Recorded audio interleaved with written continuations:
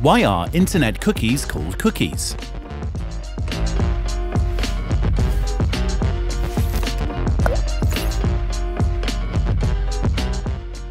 Browser cookies are the internet's memory. They remember your email, password, and the items in your Amazon shopping cart so you don't have to.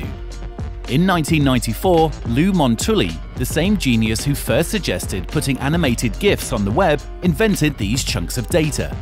But he wasn't the first person to use the word cookie, which had already been part of tech lingo for years.